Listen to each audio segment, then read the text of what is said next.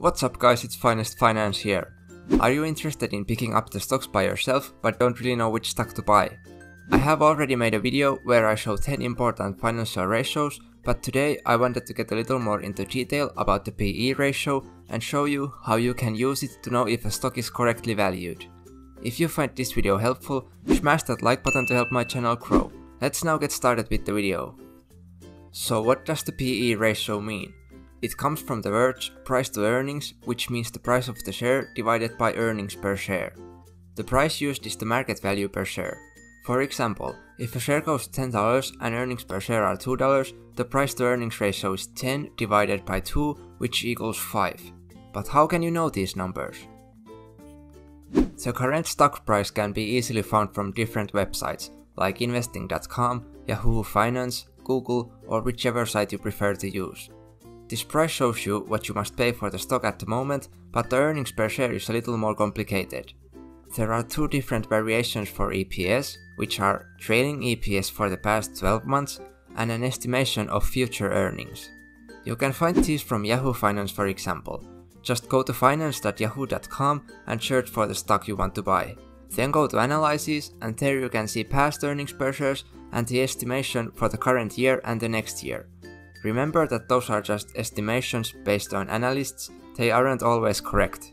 That is also the reason why some people prefer to use the trailing EPS, because they don't trust analysts. So why do we need to know those two different variations? Because there are also two variations for PE ratios, forward PE ratio and trailing PE ratio. The forward PE ratio uses those future estimation earnings per share.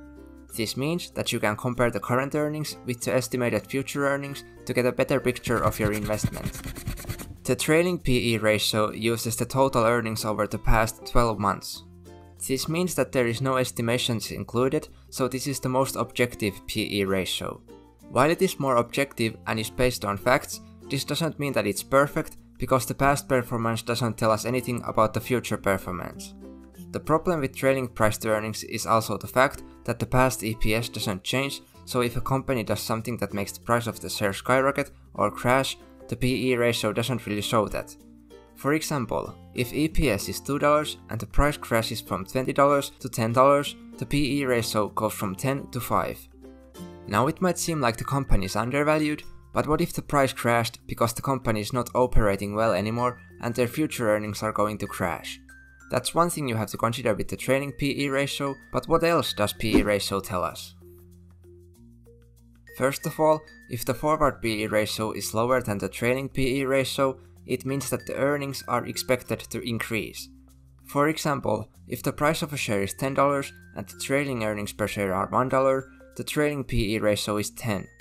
However, if the estimated future earnings per share are $2 and the price of a share is the same $10, the forward PE ratio is 5. As you can see, if the price of a share remains the same and the earnings rise, the PE ratio becomes lower. Secondly, the price to earnings ratio tells us how long it takes for your investment to be paid back. If you invested $10 and receive $2 every year, it takes you around 5 years to get that $10 back. It's also sometimes referred as price multiple, meaning that how much you are willing to pay for $1 of earnings. When PE ratio is 5, it means that you are willing to pay $5 for $1 of current earnings. The higher the PE ratio is, the more growth investors are expecting from the company, because they are also willing to pay more dollars to get that $1 of current earnings. And thirdly, you can use the price to earnings ratio to value the company. It is one of the most used ratios for valuation, but how can you use it? Well, it is mainly used to determine whether the stock is overpriced or underpriced. If the PE ratio is high, it means that the price is high compared to earnings, so the stock could be overvalued.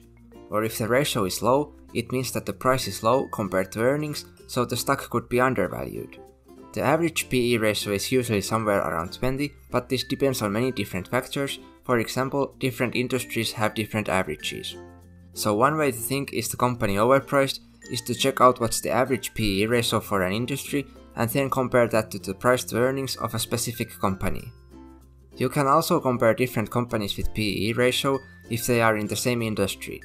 For example, if we have company A and company B that both are technology companies, If company A has a PE ratio of 10 and company B has a PE ratio of 50, this means that the company A would be a better investment according to price to earnings ratio.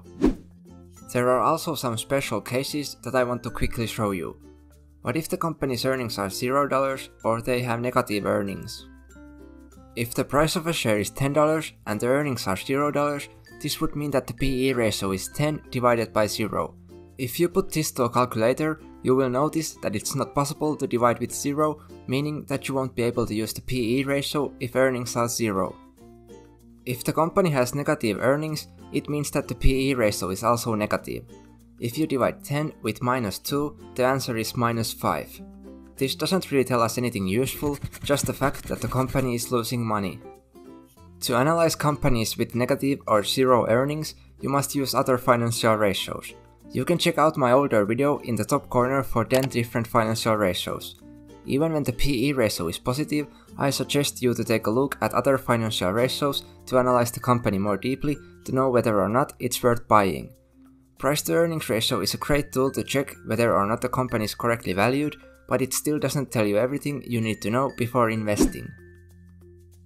Now that you know how to calculate price to earnings ratio, I have great news for you. Since you are most likely using some investing websites to know the earnings per share and the current price of a stock, you can also find the PE ratio already calculated there, but it's great to know where those calculated numbers come from. Let's quickly take a look at the main points of this video. PE ratio comes from the words price to earnings. The price is the current price of a share and earnings means the earnings per share. The earnings per share have two variations, trailing EPS for past 12 months and estimated earnings for the future. These can be found from different websites. Because there are two different variations for earnings, there are also two different variations for the PE ratio, forward and trailing PE ratio. PE ratio can be used for many things. It tells you how long it takes for your investment to be paid back, how much you are willing to pay for $1 of earnings, is the company correctly valued, and most importantly, how to smash that like button. If the earnings are zero or negative, use other financial ratios to analyze the company. Thanks for watching, share this video if you find it helpful and check out my other social media platforms shown on the screen. Have a great day, I'll see you in the next video.